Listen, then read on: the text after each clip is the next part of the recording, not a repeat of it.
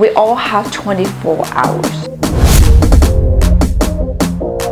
Question is, I'm not sure if I have the kind of time and um, motivation like Helen because I'm busy, I have family to look after. Yes, we all have 24 hours. The question is, what is it that you want? What is it that, how important is your body transformation?